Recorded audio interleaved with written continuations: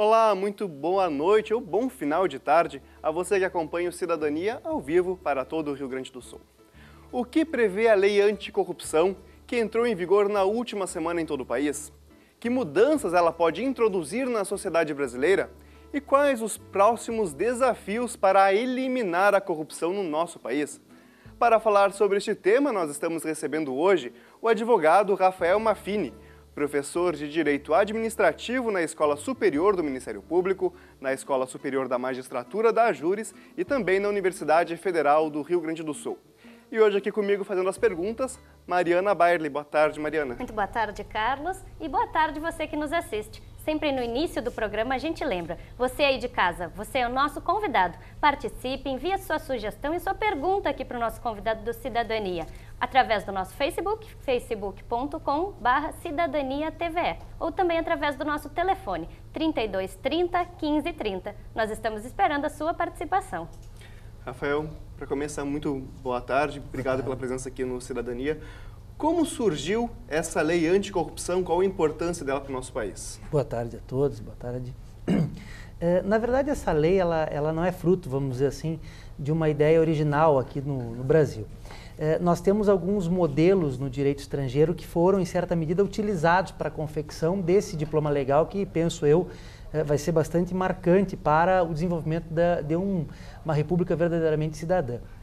Nós podemos utilizar, assim, basicamente, eh, como origem remota, uma legislação norte-americana chamada FCPA, que é incumbida justamente de normatizar eh, a prática, ou o combate à prática de atos de corrupção por norte-americanos no estrangeiro. Aliás, é bom que se diga que empresas que têm relações comerciais com empresas norte-americanas, as brasileiras, já de há muito tempo, eh, quando celebram seus contratos, elas já se comprometem, empresas brasileiras, a cumprir essa normatização que a FCPA norte-americana contempla, que é uma lei de 77 eh, lá nos Estados Unidos. Posteriormente a isso, eh, desde a década de 90, há uma série de tratados internacionais de organismos das quais, dos quais o país, eh, o Brasil, integra, eh, que o Brasil é firmatário de tratados, como eu lhes disse, que estabelece a obrigação de combate a atos de corrupção. Uh, o Brasil já estava em mora, né, desde há muito, uh, ele internalizou por meio de decretos uh, esses tratados internacionais e o Brasil há muito tempo carecia de uma normatização como essa que veio agora com a Lei 2.846, de 2 de agosto de 2013. ocorre que, e, e isso é um, uma realidade histórica que nós temos que destacar, em 2010, Uh, a CGU, a Controladoria Geral da União, juntamente com a AGU, a Advocacia Geral da União, juntamente com o Ministério da Justiça, encaminhou esse projeto para o Congresso Nacional por intermédio uh, da Casa Civil uh, do governo federal, que ficou dormitando esse projeto, um projeto muito interessante, dormitando até meados de 2013, sendo inegável que essa lei ela acaba sendo uma espécie de resposta do governo federal, juntamente com o Congresso, uh, aos clamores dos movimentos de junho, maio e junho do ano passado. O povo então, nas ruas foi essencial para isso, então. Sim, isso foi uma das. Eu diria assim, como era uma lei que já estava pronta, uh, até para fazer justiça histórica, né? Eu não posso cometer a irresponsabilidade de dizer que ela tenha uh, sido assodadamente confeccionada, né? Na verdade, ela foi fruto de um trabalho muito cuidadoso desses órgãos que referi. Mas a tramitação legislativa, sem dúvida, foi apressada em razão desses movimentos do ano passado. A legislação até o presente momento momento não dava conta dessas questões anticorrupção? O que, que essa lei traz de novo em relação ao que já existia? Pois é, eu, eu, eu diria assim, é, eu uh, tenho sido bastante reticente ao uh, afirmar que essa lei ela inova de todo, né, ou em todos os aspectos. Na, na verdade, o que, que nós temos? assim? Nós temos um arcabouço normativo relativamente adequado, grave, severo, para o combate dos atos de corrupção no que tange ao administrador público. No que tange ao administrador público, nós temos normas uh, estatutárias, administrativas, nós temos a própria lei de improbidade, uh, que contempla essas formas de punição em desfavor do, vamos chamar assim, do corrupto. Uhum. Né? Em relação ao corruptor, uh, em relação àquela empresa ou àquela pessoa que corrompe o administrador público, nós já tínhamos também mecanismos que eram mecanismos previstos, por exemplo, eh, na lei de licitações, e também na lei de improbidade administrativa que os responsabilizavam. Todavia, e aí talvez uma das primeiras novidades a ser destacada, é que todos esses mecanismos até então existentes, eles pressupunham que para o corruptor ser responsabilizado, haveria de se demonstrar a culpa ou o dolo. E aqui eu me permito fazer uma tradução do juridiquês para o nosso português.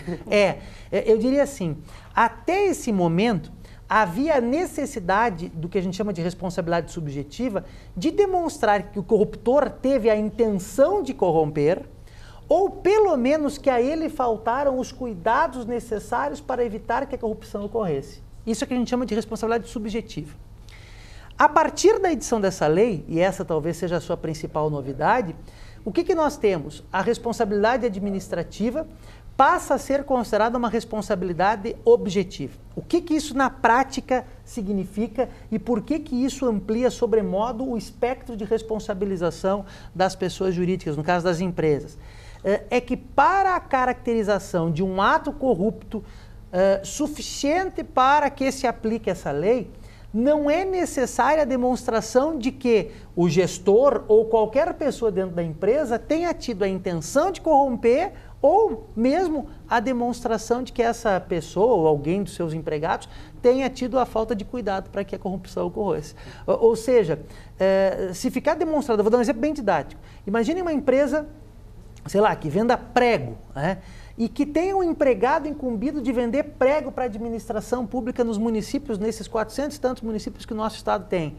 Se ficar demonstrado que esse cara lá que vende prego, lá no rincão mais longínquo aqui da empresa, da sede da empresa, que essa pessoa praticou a de corrupção, se ficar comprovado isso, a empresa será responsabilizada, independentemente do que os gestores uh, uh, vierem a demonstrar no sentido de que eles não tinham ciência. Na verdade, obriga a empresa a ter um controle ah, maior exato, sobre, essas, exato, sobre os seus é, funcionários. É, eu, eu, vou lhe dar um exemplo assim. Uh, os senhores devem ter ouvido falar, todos nós, os telespectadores, ouviram falar de alguns atos de corrupção que foram praticados no passado e, portanto, não se aplica essa lei, porque essa lei entrou em vigor em 29 de janeiro agora de 2014 uh, em que as grandes empresas multinacionais envolvidas nesses atos de corrupção, estou falando da Siemens, da Alstom, enfim, uh, a primeira coisa... casos do metrô em São Exato. Paulo. Exato. A primeira coisa que elas fizeram foi o quê? Foi mandar embora o, o presidente do Brasil. E aí elas propagam, ah, nós mandamos embora porque nós controlamos e tudo mais. Hoje, ainda que se mandasse embora o presidente da empresa, isso não justificaria a, a inaplicação da lei. Mas a sua pergunta é muito oportuna pelo seguinte, é, a lei e isso carece de regulamentação. Aliás, eu esclareço, esse é um dos poucos pontos da lei que carecem de regulamentação. Essa lei já está em vigor, ela não carece de regulamentação para ser aplicada, a não ser em alguns poucos pontos. Um dos poucos pontos que precisa de um decreto para regulamentá-la diz respeito ao seguinte: a lei ela estabelece que eh, na hora de aplicar a pena, eh, e depois eu posso esclarecer quais são essas penas, na hora de aplicar essas penas, nós teríamos de levar em consideração uma série de elementos. Um destes elementos é a utilização ou não pela empresa, pela pessoa jurídica, de mecanismos de controle eh, interno, que no linguajar né, eh, das empresas a gente chama de compliance. Eh, então, o que, que acontece? Não chega ao ponto de acontecer o que ocorre, por exemplo, no México, em que no México uh, a existência de compliance elimina a aplicação da lei anticorrupção. Mas aqui no Brasil, pelo que a lei diz claramente, uh, se a empresa possuir esses mecanismos de controle interno e eles forem efetivos, a empresa terá certamente isso relevado para fins de aplicação da pena. Então, por exemplo, no meu exemplo aquele, né, se aquela empresa tiver lá o vendedor de prego, lá que o cara para bater meta, o cara uh, pratica uma anticorrupção, uh, se aquela empresa lá tiver mecanismos de controle interno, o que acontece? Essa empresa será punida com menos gravidade do que uma empresa que não tenha esses mesmos mecanismos nesse, Até nesse sentido, o que, que, é considerado corrupção? Isso é especificado dentro da lei? Que tipos de atos? O senhor poderia citar claro, exemplos? Claro, não, eu, eu, vou lhe dizer assim, é, como toda questão jurídica é, de sancionamento, né, as regras de sancionamento elas devem ser interpretadas com mais cuidado sempre. Isso é uma, uma proteção que o cidadão tem, que as empresas têm e devem ter. Mas eu diria assim, é, para que seja caracterizado um ato de corrupção, nós teríamos que conjugar alguns elementos. Tá? Então eu vou esclarecer até porque isso é importante. Primeiro, primeiro, ele tem que ser praticado, nos termos dessa lei, por uma pessoa jurídica. Então, nós estamos falando da responsabilidade das pessoas jurídicas. Essa lei não trata da responsabilidade de pessoas físicas, que são responsabilizadas por outros mecanismos. Antes que as pessoas né, eh, confundam. Não estou dizendo que elas fiquem imunes ao controle. O controle que sobre elas recai é um controle que é regulamentado por outras normas. Então, aqui nós estamos falando de pessoas jurídicas. E aí, uma novidade: nacionais ou estrangeiras, desde que sediadas no Brasil. Então, observem eh, uma empresa estrangeira com sede, representação, filial no Brasil se submete a essa lei. Bom, mais do que isso, para que seja caracterizado o ato de corrupção, esse ato de corrupção tem que ser praticado no interesse desta pessoa jurídica nacional e estrangeira, para algum benefício seu. E deve ainda esse ato de corrupção é, isso decorre da articulação do artigo 2 com o artigo 5 da lei, a combinação desses dois artigos, é, esse ato de corrupção ele tem que ou atentar contra o patrimônio nacional ou estrangeiro, aqui vem uma outra novidade, é a primeira vez que a lei brasileira protege o patrimônio público estrangeiro. É, é, a primeira vez. E é assimilado, é equiparado a patrimônio estrangeiro às organizações internacionais.